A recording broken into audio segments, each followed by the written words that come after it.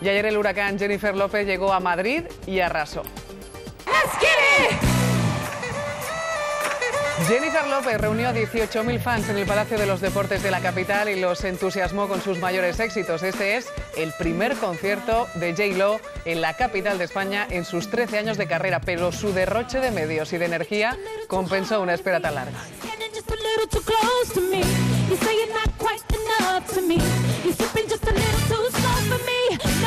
but you're playing real cool, homie. Got me thinking, what is it you do for me? A little more than I should be. So let yourself go and get right.